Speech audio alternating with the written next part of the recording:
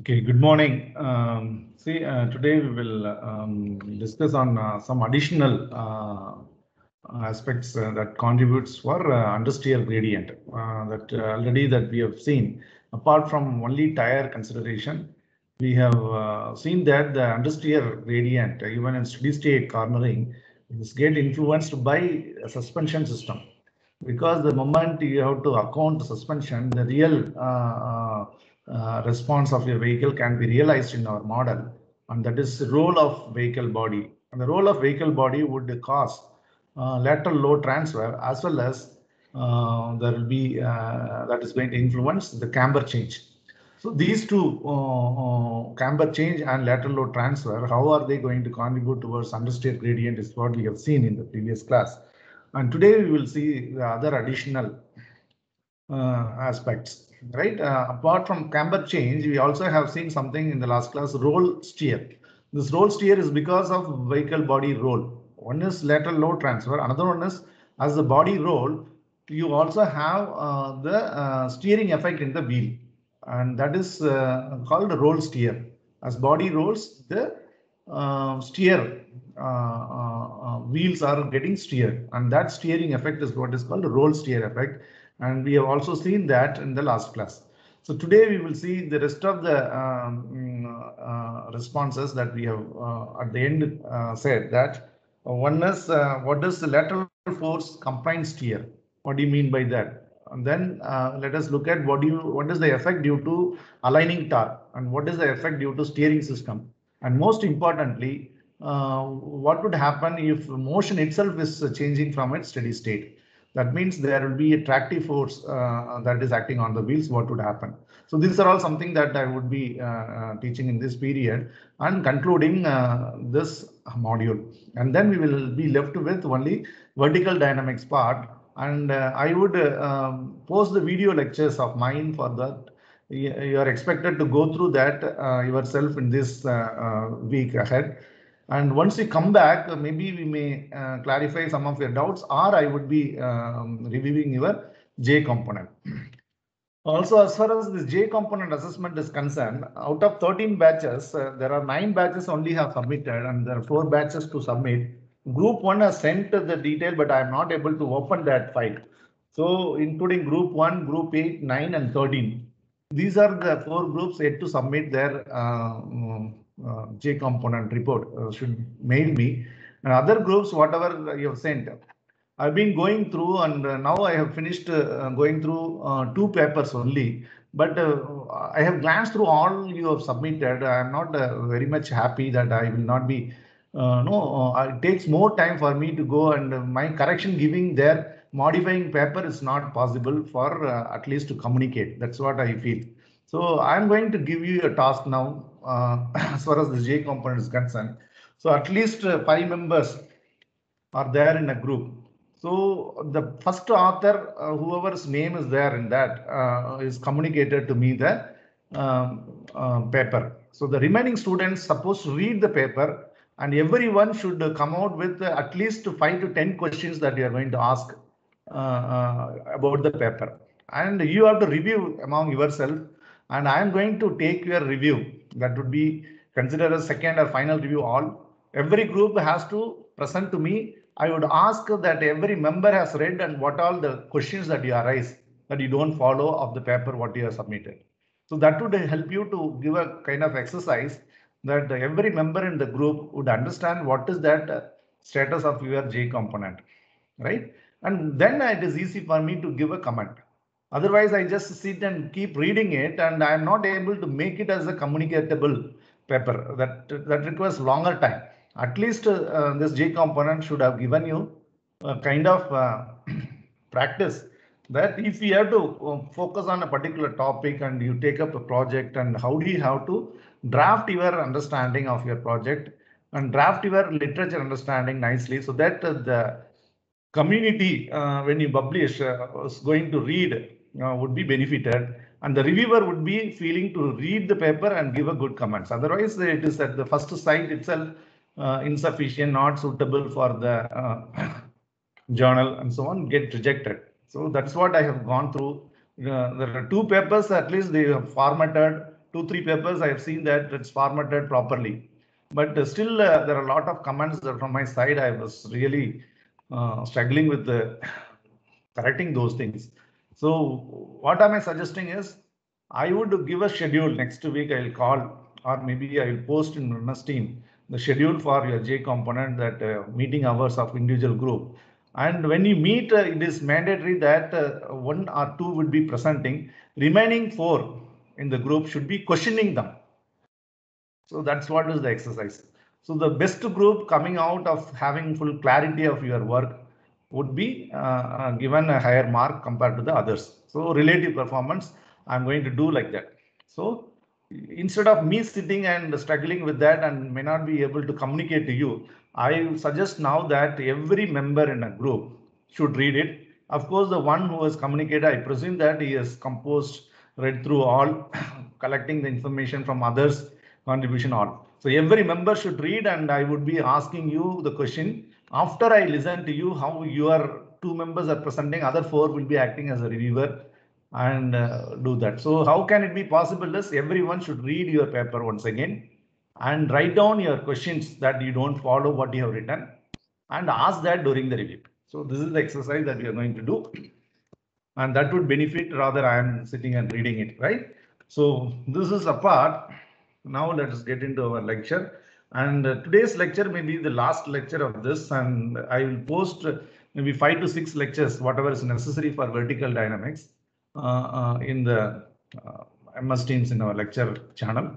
You can go through that during this week and that would complete your syllabus.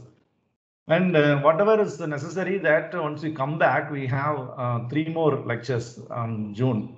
Uh, June 2nd, I think, June again 4th, and then June 7th. So at that time, we will, those three periods will make use of effectively from what you have listened from the lecture, your J component or right? So that is how our course going to end for the semester. And uh, whatever that video lectures I'm posting, that is also there for your final assessment examination. Vertical dynamics part also is there for your examination. So please go through those videos what I'm going to post and that completes uh, our syllabus, right? So today's lecture is um, uh, at most you can consider to be the last lecture for this module and uh, the remaining lectures we'll go through. Uh, three lectures is for our uh, revision or your doubts to clarify and so on. Right? With that note, let me just get into today's lecture. Let me share my screen. You have anything to ask, you can please ask at this moment. Any clarification, anything? If not, then we will get into a lecture later and we can discuss.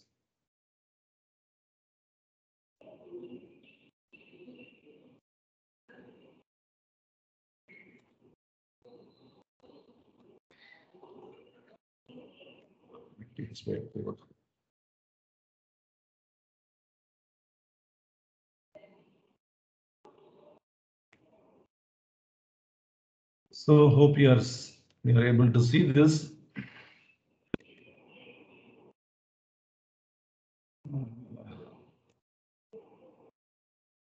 In the last class, this is what we have seen that uh, as a body roll, there will be change in camber, addition to whatever the design camber uh, that's given to the uh, wheels. Uh, that's called uh, camber angle with respect to vehicle body, right? And uh, you get an additional camber change that is taking place because of that. And that contribution is what first we have seen. And you see that the term 3 here is due to camber and uh, that depends upon uh, again the roll rate and the roll rate depends upon again the roll angle. Uh, roll angle depends upon roll rate and this camber change depends upon roll rate you could say right and then we have seen uh, what is this roll steer effect roll steer effect to define we have defined this roll steer coefficient which is again uh, defined as the steer effect due to uh, roll per degree roll right? Uh, so that is considered to be positive wheel steers to the right in the right hand road. That means the vehicle takes a left turn. So we have defined that uh, the understeer effect. Otherwise, it is called an oversteer effect. If uh, uh, vehicle takes a right turn and uh, uh, when it is steered to right and you your your vehicle rolls left, then that effect would be wheels rolls left, then that effect would be oversteer effect. And that can be assumed in the rear axle that as a trailing arm orientation. So this is what we have seen. Finally, the expression K uh, uh, understeer gradient due to roll steer can be given by this difference in uh, the coefficients in front axle and rear axle. And that's again function of uh, roll rate. That's why it's multiplied by roll rate. Right. And this is what uh, uh, we have seen in the last class. And let us do now. these are the four items now. So let's start with lateral force combined steer and then uh, these are all simple. Uh, I'm not going to go more in detail. Maybe we will do a derivation for variation in tractive force, this in detail. The other three are physically you should understand uh, how this understeer gradient get influenced by these aspects, right? So let's go to lecture number 41. And the first one is lateral force combined steer.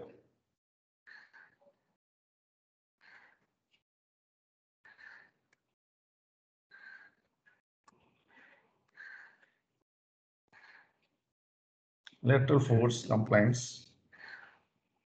It's not a compliance, compliance steer, right? Steer.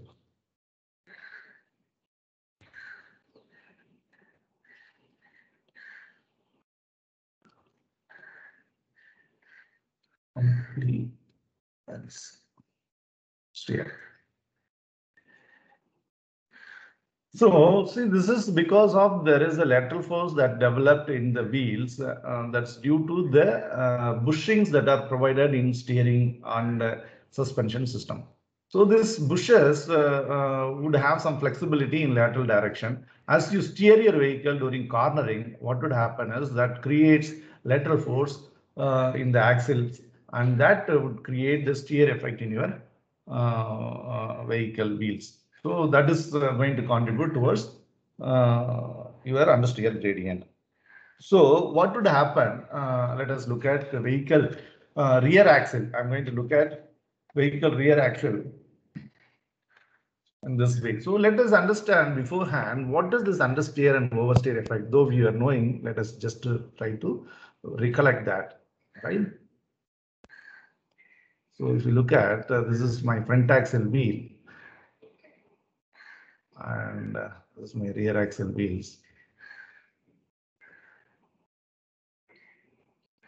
And I, I do take a turn, say, to the right now.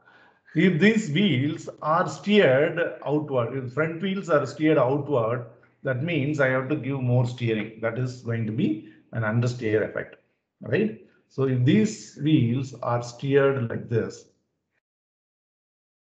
I have to give her more steering and then uh, it will uh, go. Or this axle is drifting out, uh, then I have to correct it. Uh, mm, then it is understeer effect. The same um, would happen how here. Uh, see, if this wheels are turned to this inside like this, then rear wheels are turning like that. That is going to again push it outward that is going to be an understeer effect. The same way, suppose there is a steer effect in this wheel, the similar fashion in this fashion, what would happen? That would try to push the forward of the vehicle inward to the curvature and that would contribute towards oversteer effect. So for understeer, this is understeer effect, here it, it has to go correspondingly in this fashion. If these wheels are steered like that, so this goes and this also assists. now, this entire axle turn is going to be how it's because of uh, the center about which this axle is turning. So what is that center? That center would be um, uh, like like this. So now let us look at an individual axle and say that axle is uh, your uh, rear axle, right? So I have my wheel.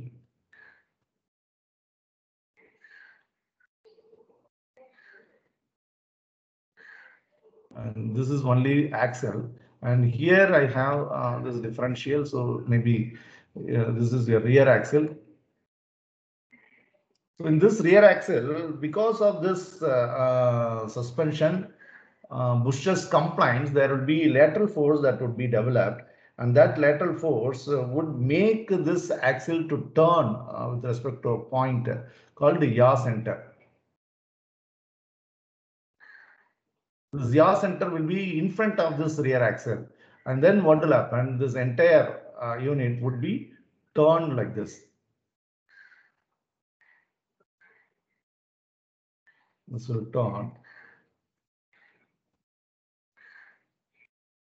like this.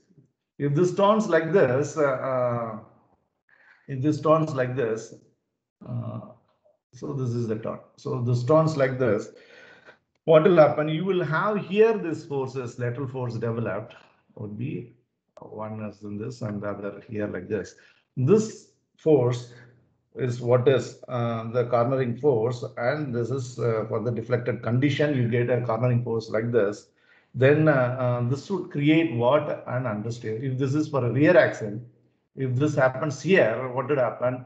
This understeer effect would be uh, changed in the rear axle. This wheels would go, the front wheel will be pushed here. So the vehicle would be more of oversteer tendency.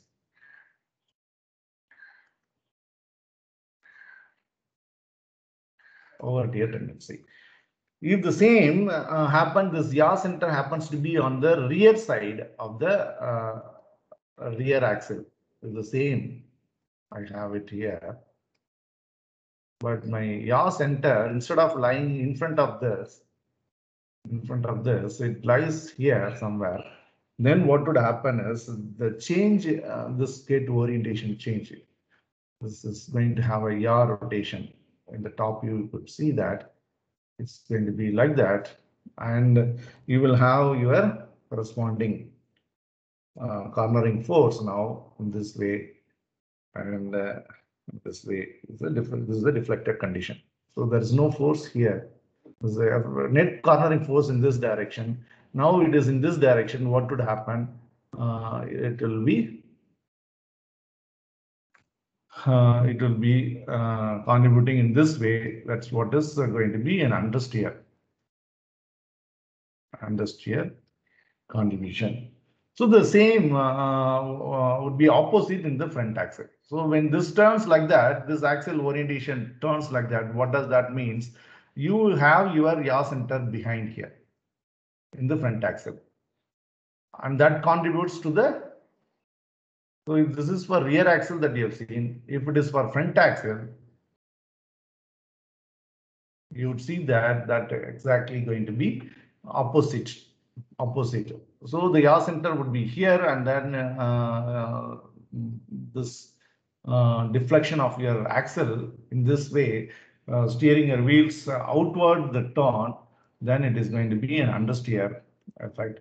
And uh, if uh, uh, if this happens to be in front, then the entire thing would be turning like that, and then it is going to be an oversteer effect, right? So here it's all with respect to yaw center. In the rear axle, if yaw center is in front of the axle, that contributes to oversteer.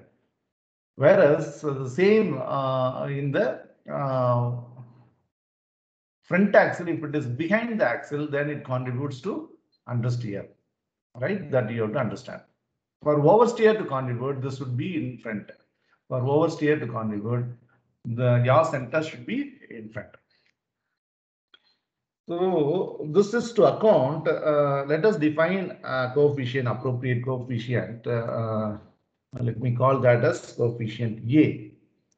So this coefficient A is defining this steer effect uh, due to compliance steer. So I put this subscript C that refer to compliance steer due to bushes. So you may ask how this yaw center can be in front or uh, behind. It depends upon the bushes.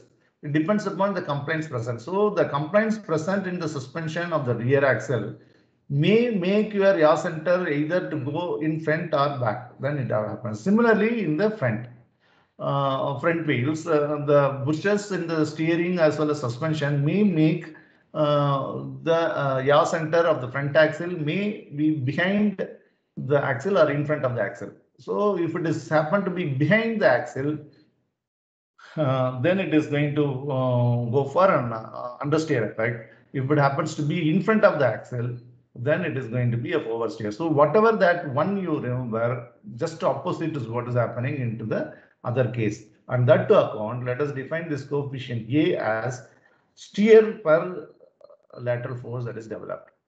Steer per uh, lateral force that is developed. This is Fy, this is Fy here. So for this, uh, how much is developed? And it is degree steer by, it's both in degree angle. So degree steer per unit lateral force. So you can define it like that. So this is defined like that. I can say now what is the steer? See the steer effect is what is contributing towards your understeer gradient. That's what you have seen. So let's uh, now get to what is your steer uh, angle due to this compliance as A into Fy, where Fy would be uh, written as W uh, into Ay right? Where Ay is in uh, uh, normalized. Ay is u squared by Rg. So this is uh, in general, then it will be uh, for a particular axle, then for a front axle, let me call that as delta CF. That's going to be AF WF into AY. For a rear axle, uh, this uh, steer would be by this coefficient AR times W into WR into AY. So the difference is what is going to give you your compliance due to lateral force compliance here. And that would be AF minus AR. Uh, AFWF minus ARWR into AY. So that is uh, See, uh, it won't come. This AY won't come. Because AY would be with the steer angle. It's a steer angle. This AY would not come uh, and you have to represent as an understeer gradient, right? Understeer gradient. So this is uh, the component that you have to account uh, for uh, the understeer effect that comes out from the compliance and the bushes that are provided for NVH purpose in the linkages of the suspensions. So uh, next one is what is aligning torque. So aligning torque, you know, aligning torque is the manifestation of the lateral force uh, resultant uh, not acting through the center of contact patch instead of it is just behind the uh, contact patch center right and that uh, uh pneumatic trail act as a momentum that creates uh, uh, your aligning torque this aligning torque always would resist the expected steering hence the aligning torque is always contributing to understeer gradient always contribute to understeer gradient. Understeer gradient. Right. And uh, uh, let me uh, put that expression aligning torque due to that. So AT refer to aligning torque and that would be W into P by L where this P is what is called pneumatic trail and it is uh, multiplied by C alpha F plus C alpha R by C alpha F into C alpha R. Where C alpha F and C alpha R, you know that they are um, their uh, stiffness of the tire, cornering stiffness of the tire, front axle tires and rear axle tires respectively. And P is what is pneumatic trail, L is wheelbase, W is total load. So the aligning torque, uh, since this uh, P is positive, L is uh, dimension, and uh, here uh, C alpha F and C alpha are always positive, and this would always contribute to a positive value of this. And this is what will be an addition to uh, our bicycle model when you have to account the self-aligning torque also into your um, into your um, overall understeer gradient to calculate. So this uh, uh, is normally less than, if you look at this value, is normally less than 0.5 uh, degrees to degrees per G. So the value that comes out from uh, the self-aligning torque uh, generally it will be of 0.5 degrees per uh, g and that is multiple lateral acceleration. So that much 0.5 degrees only uh, that comes, right? But you give your steering that would be uh, more angle uh, required during cornering. So that contribution is very less. And uh, uh, similarly, if you look at from steering system,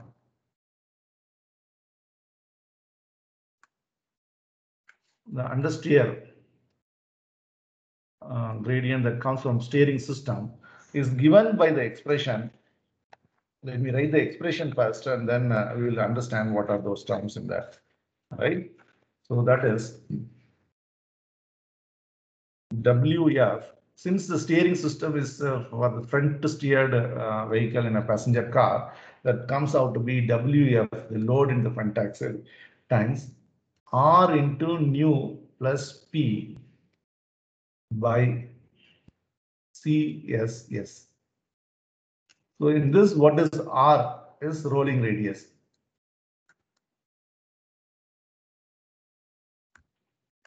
of the tire. What is nu is caster angle. What is P is pneumatic trail. And what is CSS is steering column stiffness, or steering uh, system stiffness, steering stiffness. So you have your steering column, so that would have some stiffness that is. So uh, you should understand here how this is all coming. So you can refer to chapter number eight in uh, Gillespie textbook for steering system and uh, how can you derive this expression. But however, I am not going to do that. You can just look at it and remember this formula. If data are given, you have to calculate this, you can use this formula straight away. By the way, we have looked at, understood what is camber angle, but now what is this caster angle? So caster angle is uh, coming because of the geometrical aspect of the steering system uh, with respect to your uh, uh wheel center.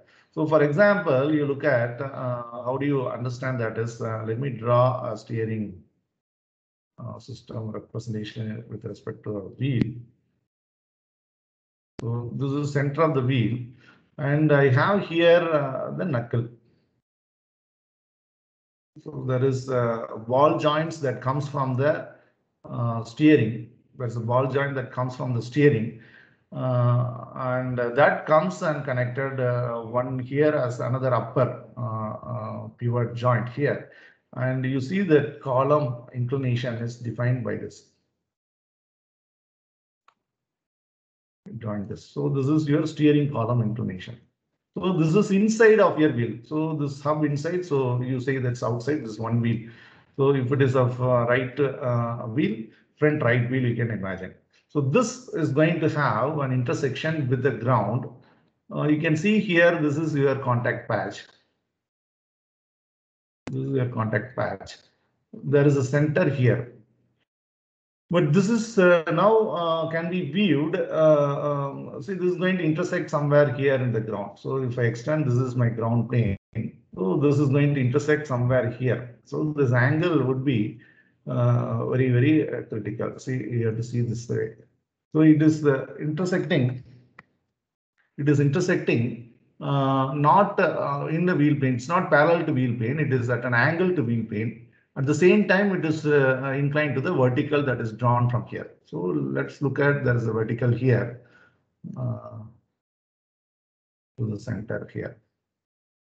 So there's a vertical here, right? There's a vertical here. So how do you define now your camber angle and there is another angle called a kingpin inclination angle. So for that, let us look at uh, this in two views. So let us look at in this front view as well as from this side view. So if I look at uh, this from side view,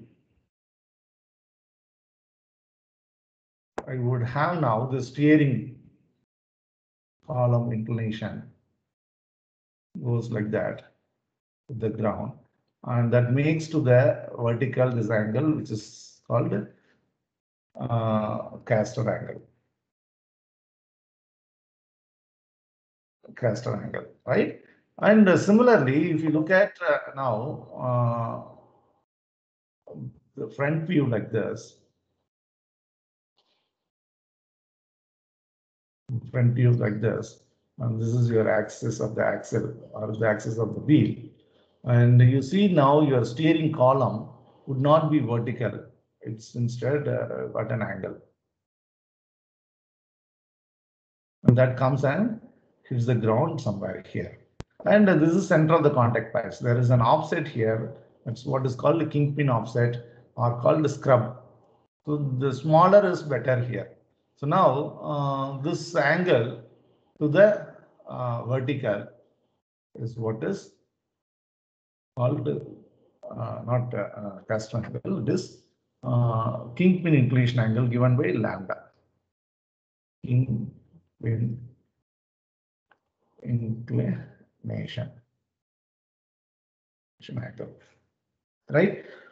So uh, for your uh, uh, understeer effect uh, to get you get your influence, this is again positive quantity that would be um, brought here, right? So this is what uh, from the steering system. So the more uh, uh, derivation or anything, you have to again look at the steering system more in detail. Kinematics, all are important. Geometrical aspects, all are important. You can go through chapter number eight in Gillespie textbook uh, for further uh, detail. Otherwise, it's sufficient uh, even for exam point of view, remembering this formula and explaining this whatever that I have done so far. That's sufficient. You can just brief it.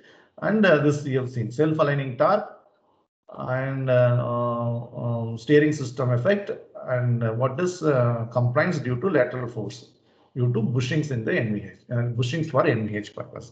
So this all apart, these all are instantaneous. These all effects come instantaneously during your cornering. The cornering happens to be steady state cornering only, but still these are all uh, will be accounted uh, along with your bicycle model wherein we consider only the linear tire model.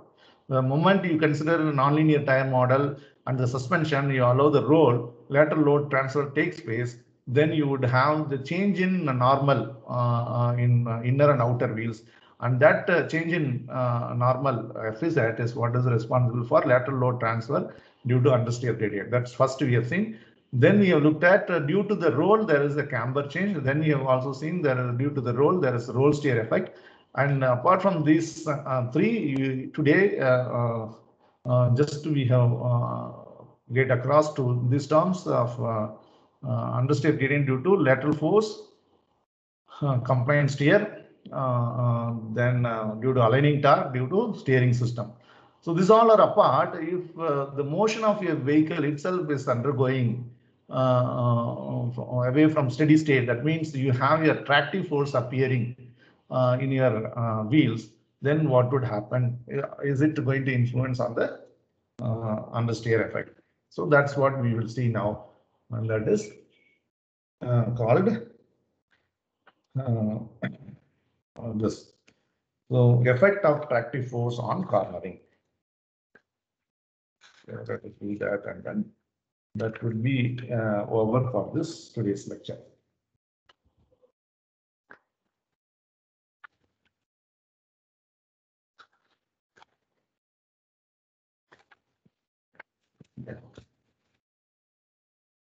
So this geometry of your bicycle model, you have to carefully understand for this. And uh, uh, I will do it if I make any mistakes, please uh, kindly tell me that if I go wrong. Because I see that when I derive, there is some change in the um, expression that is appearing in Gillespie textbook. From that, what I am deriving now, right? If I make a mistake, please tell me what am I doing uh, wrong here, right? So, um, this is the effect of tractive force on cornering.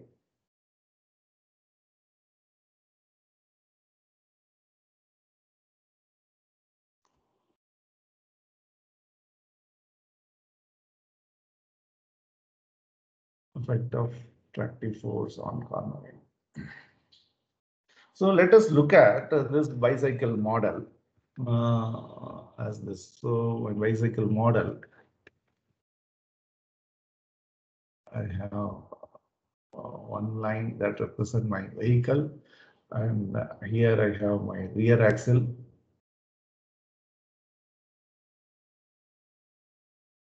Wheels collapse and made as one single wheel And the front I have my steered wheel. So if I extend this, and this is my wheel plane. And here this is my wheel plane. Now uh, this angle here is what is delta. So the convention what I'm following here is SAE convention. So SAE convention, you have your right hand, uh, three fingers, middle index and thumb finger stretched at 90 degrees, and you have to uh, look at like this. So uh, your um, direction of positive x forward and positive y is towards right, and positive z is downward. And angular measurement clockwise is positive. So delta measured in this sense is positive. And since there is a cornering, you see that you know uh, you would have uh, you would have a slip angle developed. That would be here. So this is what is the actual wheel travel direction. And that is defined because of the slip angle alpha f. and there is a slip angle here that is alpha r. And you also have a body slip angle and your vehicle body velocity would be something uh, this uh, say this is capital V that is your forward velocity. So this is what is uh, um, the geometry of our bicycle model.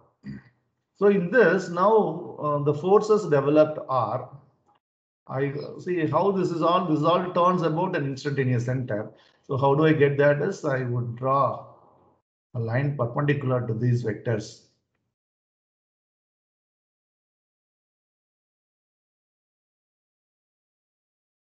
and that would intersect at a point that is my instantaneous center. So these all are at 90 degrees. This is at 90 degrees and this is at 90 degrees. So now your uh, uh, force Fy would be Fy uh, would be uh, at uh, perpendicular to this wheel plane. So perpendicular to this wheel plane means it is at uh, where it is going to be acting here it is going to be uh, along this perpendicular to this line. Let me draw that line to this wheel plane. Uh, so uh, my Fy will be along this line. Uh, Fy will be along this line. So this is this is my lateral force in the front axle. Fy F. FIF. And FIR here is in this direction. FIR here is in this direction. FIR is in this direction. Uh,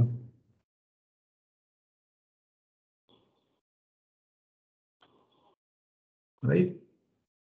FIR is in this direction. Yeah. So, and uh, now tractive force, let me consider it is acting on all the four wheels. So I would have front traction as well as in the rear also traction. So front axle uh, force uh, would be in this direction. This is my F X F. So this is a triangle. So this is a triangle. And uh, here I would have uh, fx r at the rear, fx r. So now if this is so, I can write my expression for uh, equilibrium by Newton's equation.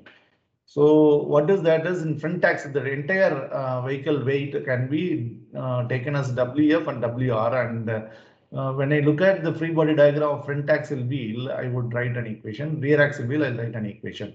So that equation is going to be equated to WF into V squared by RG. Is what is in the front. This effect force is because of unbalance present in the lateral direction. So that would be equal to uh, FYF, this is FYF, FYF cos delta minus of minus alpha f. See, this is positive and this is minus. So this difference is what is this angle. So that's what I should take. So if I see that, I should extend this line. I should extend this line. So this angle here is delta minus of minus alpha f. Right? So this is going to be delta plus alpha f. So why cos is because I wanted in this direction along this line. That is what is my component. Perpendicular to that is what is uh, now this fxf. So this and uh, uh, it's perpendicular to the plane. But what is that I wanted is again uh, in this direction. So that to get uh, if I extend this line here. So this angle is going to be again same as that of delta plus alpha f. So that's going to be fxf cos or sine sine delta plus alpha f. So this is that uh, uh, equation number one and the front axle wheel free body diagram. From rear axle wheel free body diagram, WR into V squared by RG is what is my centripetal force. And that's what is equivalent to the resultant in this direction. So how do I get? Let me just extend this uh, line. And extend this line. So this angle is again here alpha f, sorry, alpha r alpha r and this angle also is alpha r. This is alpha r. So now I can write here this expression y in this direction. So what is that? It's turning the centripetal force is directed along the radius of curvature. So along this line it is directed. So I get those component and that component is equivalent to this. So that component here would be uh, I, I take this positive because inward towards the center of turn. So that is uh, in this side it's Fy R uh, cos alpha R and uh, Fx R Fx R sine alpha R. Right. So now uh, this is my equation 2. So this equation I can rewrite and finally what is that I require is I know steering angle requirement for steady state uh, would be 57.3 L by R. This is Ackermann steering angle called for low speed cornering. And in hard cornering, it is funded with this uh, effect, uh, or this alpha F minus alpha R. So I had to get my alpha F alpha R from these two equation and substitute in this equation capital one and get my steering angle requirement and that would give an expression effect due to traction. What is that uh, contributing towards understeer gradient? So now let us uh, get that alpha f from first equation, and alpha r from the second equation. So what is that I'm going to do is, and I know that very much I'm aware, this delta alpha f and alpha r all are very small angle And uh, in the diagram that is exaggerated for us to understand this, right? So that is so, let me just uh, write my first equation as this. So that's WF V squared by RG equal to, uh, this since it is small angle, delta plus alpha F it appears. But here it is, uh, mm, uh, when I substitute this alpha F is negative, then it is a difference right? The, the difference is what is that comes here. Delta is measured clockwise and minus of minus alpha f, so it's getting added here. But uh, collectively, this angle is again small angle. And uh, so cos of that small angle, it is considered to be 1. So that's going to be only fyf plus here sine of small angle is angle. So f uh, xf into delta plus alpha. And uh, let me rewrite this equation again, substituting FIF, uh, considering um, this bicycle model, so no suspension effect. Uh, and here I would consider as a constant um, stiff cornering stiffness. So this is going to be written as C alpha F into alpha F, this expression, plus this is going to be F alpha, sorry, FXF, it's not alpha, FXF into delta plus fxf into alpha f. On this side, it is wf v squared by rg. So what is required here is alpha f is what I needed. So let me divide this entire uh, equation by C alpha f. So what's going to happen? Wf v squared by Rg, C alpha f, and here it is alpha f plus Fxf delta by C alpha f plus Fxf by C alpha f into alpha f. So alpha f, if I take out, and this delta, if I bring on this side, delta, if we bring it on this side, I would be able to write for alpha, right? So this alpha f, if I take out, and this is going to be 1 plus C fxf by C alpha f. And then this side it's going to be WF V squared by C alpha F RG uh, minus Fxf by C alpha F into delta. So alpha F is going to be WF V squared by C alpha F RG minus Fx F by C alpha F delta is all divided by 1 plus Fxf by C alpha F. So this is equation number 2, sorry 3. So this is an expression for uh, what is that slip angle in terms of these expression. And you see that now in this expression, I also have the steering angle here. And I also have my Fxf. What is the drive force that is in the front axle? So this is alpha. x. So similarly, from the second equation, I can write for alpha r. Uh, what is my second equation? Second equation uh, is W r v squared by rg. That's equal to that's equal to cos uh, uh, what is that FIR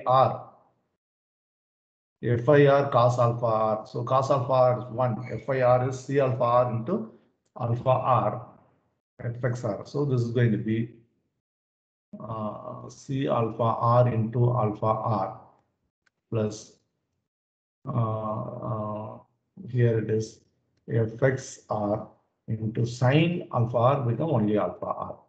FXR into alpha r.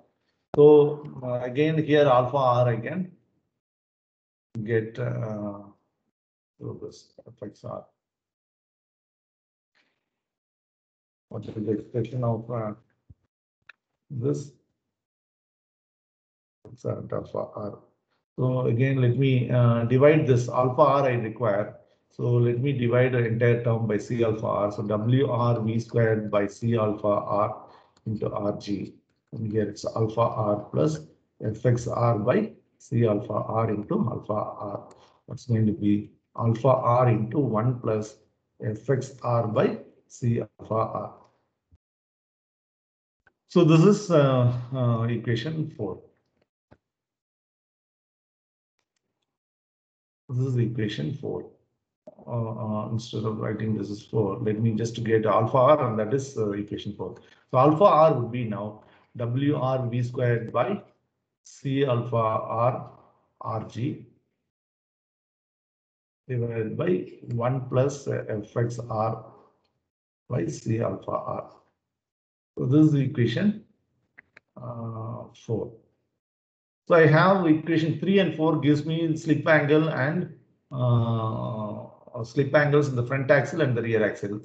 So that now I can substitute them in my equation capital uh, Roman letter 1. That is delta equals 57.3 L by R plus alpha F minus alpha R. Substituting them and uh, again manipulating. What is that you observe here is on the right hand side you have a delta term, here also delta term. You have to take them group one side. And uh, also the fact that uh, uh Fxf by C alpha F is very, very small quantity.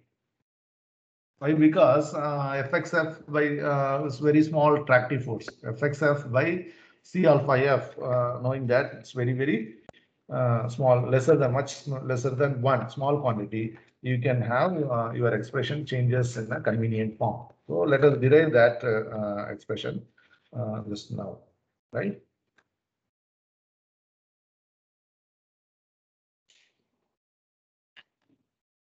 So let me substitute uh, 3 and 4 in this equation. So it's 57.3 L by R, L by R plus alpha F. Uh, what is that we had?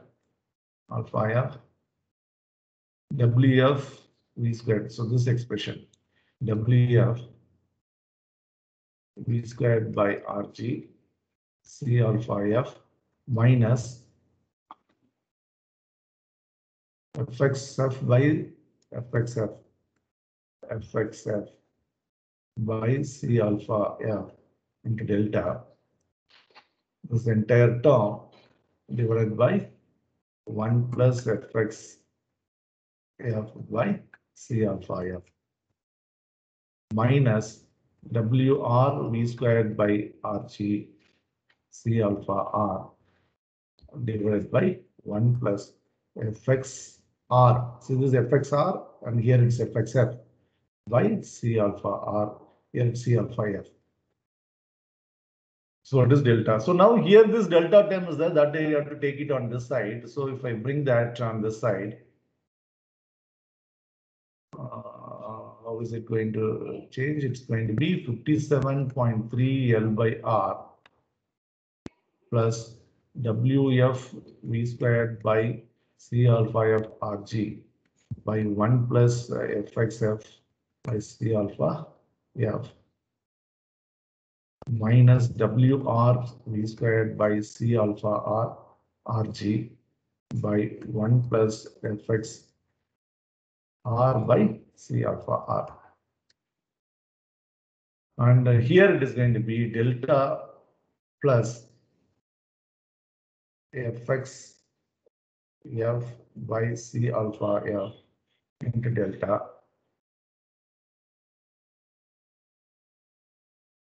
divided by only for this 1 plus Fxf by C alpha F because it's common to this as well. So this is that term. So now you see here, uh, since uh, we know that uh, the value of Fxf by C alpha F and Fxr by C alpha R is very much small value. This ratio less than 1. I can write this 1 plus Fx F by C alpha F as 1 minus Fx F 1 by, right? 1 by this as 1 by 1 plus x if x is very, very small quantity, 1 by 1 plus x is 1 minus x, and then I can write as a series. First two terms I can take, remaining I can truncate. So I can rewrite this expression as 1 minus fxf by c alpha f. Similarly, 1 by 1 plus fx r by c alpha r can be written as 1 minus fx r by c alpha r. So making use of this advantage and I can uh, uh, do this uh, manipulation here further. So what would happen on my left hand side is this. What would happen on my left hand side? Let me put this. So this is going to be delta plus fx f delta by c alpha f and this is going to be 1 minus fxf by c alpha f. So this uh, this is one left hand side LHS, right? On this side, uh, let us have these two terms. These these three terms are there. So this is there here. There's term here. So this term, if I work out further, uh, it's going to be delta plus uh, fxf by c alpha f into delta minus uh, fx f square by c alpha f square into delta. So we can neglect this term as uh, squared already this ratio is smaller value. Uh, so this can be eliminated and uh, that's equal to I have here three terms. So now this is going to be written as uh, if I take delta out, it's 1 plus fxf by c alpha f. That's equal to here 57.3 L by R plus I have these two terms. What are these two terms? Is uh, this again uh, uh, you see that uh, 1 by 1 plus fx by c alpha f. I use this and these two terms are going to be rewritten as like this. So first term is wf v squared by c alpha f rg into 1 minus fxf by c alpha f minus wr v squared by c alpha r uh, into 1 minus fx r by c alpha r. So that's going to be 57.3 L by R plus, and here I have first term here and first term here. So if I group that, it is going to be WF by C alpha F minus WR by C alpha R into V squared by RG that I will take it out and the minus there's minus term here and there is plus term here. So minus if I take it out, it's going to be WF fxf by c alpha c alpha so c alpha f square minus wr fxr by c alpha r square. This is all as a common term. Outside I have v squared by rg. And in this side I have delta equal to 1 plus fxf by c alpha f. So this delta is now corrected by this, though this value is going to be very small value. Uh, but you have you have my requirement of delta is now more compared to that of the uh, governing equation. That comes because of your fxf is introduced. So this is your expression now. So in this you see now very interesting. Uh, you you see this is your uh, term where it is due to tire compliance. Whereas this term is now coming from tractive force. And here this Fxf and Fxr. Fxf is drive force in front axle, Fxr is drive force in rear axle. That represent what? It can be a four-wheel drive. It is representing that wheels, all wheels are driven wheels, drive wheels. So you get your uh, traction there supposing if we are considering now, if we are considering now, so this is K due to tractive force, right? So if we consider now uh, the front wheel drive vehicle, the front wheel drive vehicle will have FXR0, right? FXR0. So you will not have this expression. So front wheel drive here, it's positive. But what is happening? This minus sign says that if we have front wheel drive and you have lateral force in the front axle, that contribute to oversteer tendency. That means it will pull the vehicle. Engine pull, it's said. So you will have an oversteer tendency. If you have your uh, FX, F is zero. FXF is zero means what? and FXR is there, that means rear wheel drive vehicle, rear wheel drive vehicle. So in a rear wheel drive vehicle, when FXF is zero, look at here now, if this FXF is zero, this is going to be delta, and your requirement uh, is going to be, so this minus into minus become plus, so that's going to be an understeer vehicle. So that is what front wheel, front engine mounted front wheel drive vehicle may go for an oversteer tendency, the contribution, whereas rear wheel drive vehicle where FXF is zero, FXR is existing, so that would be here and this term zero and you get this positive and already you have your uh, understeer gradient here plus this getting added, so you would get have an understeer effect. You would have your understeer effect. So uh, you can also see that uh, uh, this affects uh, whatever I have put. It's not only the tractive force that you should assume. If I take my front wheel drive vehicle, um, um, this is not necessarily to be zero. Rather, you can consider in my expression fxr is going to be my rolling resistance force. Like that, you can consider because there is a force always existing. So the one which is uh, uh, driving wheel, you have your drive force there. The other wheel, you would have uh, the uh, rolling resistance force. So you can also assume like that. Right. And uh, we have also seen that uh, the condition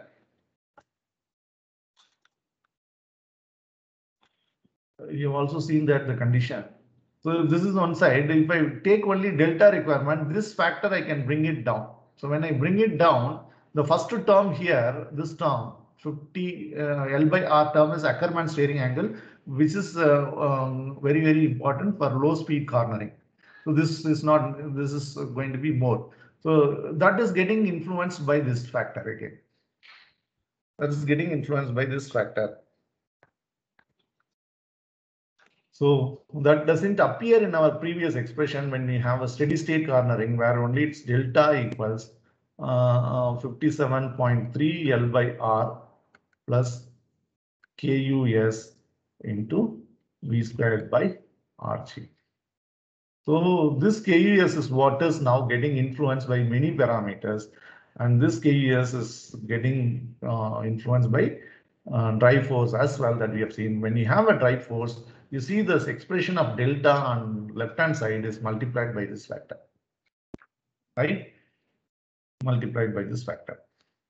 So in your Gillespie textbook, uh, this factor is taken down here that's what I, I don't understand. If I bring it down here again, this term is going to be here. Uh, and again, uh, maybe you can neglect this since it is very small.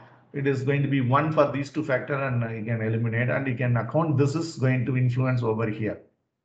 Because already rolling uh, compared wheelbase and this turning radius also is finite in low speed cornering, right? That is in parking maneuvering. So when you look at that, uh, this would be brought over here and the effect of this term on these gradients is uh, not that much. So you can see that at low speed, at low speed cornering, that's normally taking place during parking of your vehicle. You steer and you turn your vehicle. So your steering angle requirement delta is going to be 57.3 into L by R divided by 1 plus uh, uh, Fx F by C alpha F. This term.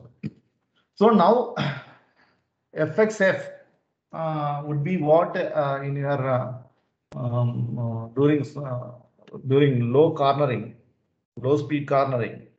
this term is going to be a rear wheel drive vehicle if you take uh, rear wheel drive vehicle, this is going to be zero if I consider. If this is zero, you have uh, uh, no problem. If this is front wheel drive vehicle, then you have this FXF appearing here and, uh, and this would have the uh, influence like this.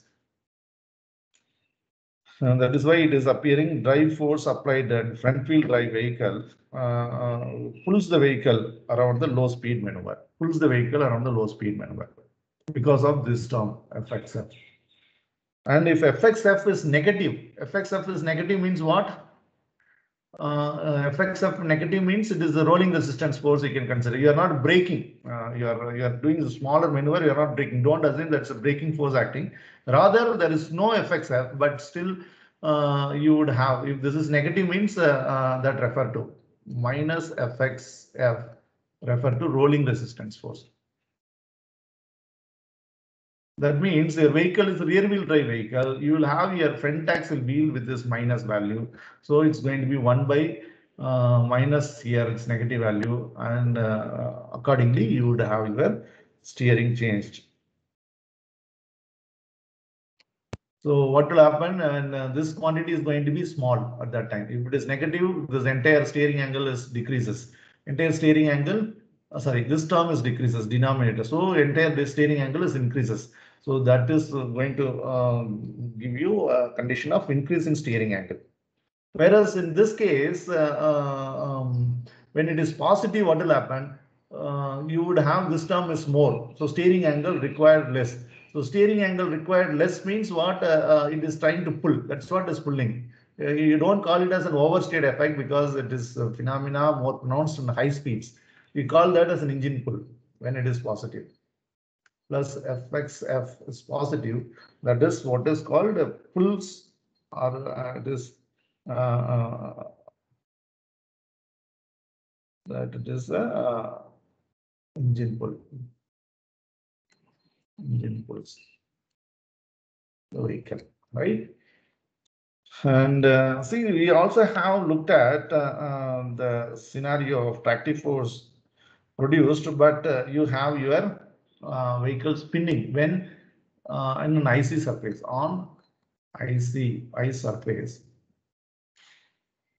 An ice surface, what's happening?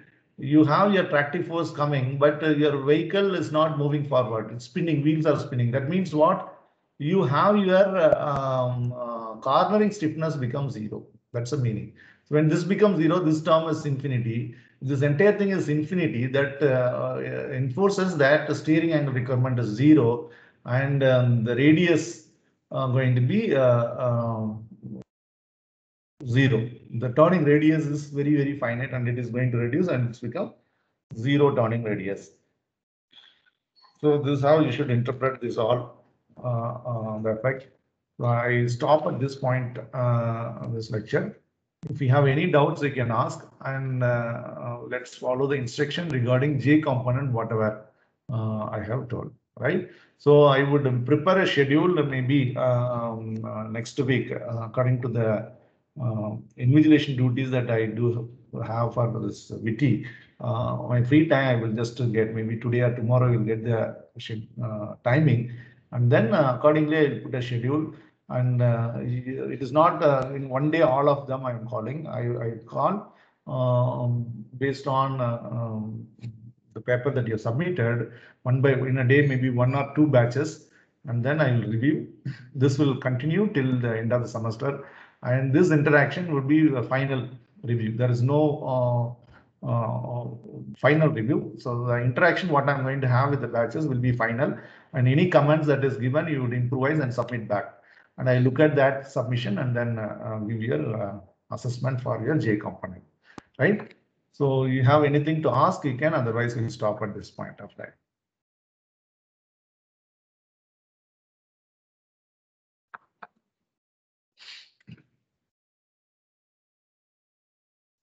Anything, any doubts that you have? So for uh, vertical dynamics, I will post the video lectures in the uh, lecture channel. Uh, you can please listen to them. That is also there for your exam. And if you have any doubts in that, we will discuss that uh, once we resume back uh, next week after the week, right? So anything that you want to ask, if uh, no doubts, uh, let me stop recording.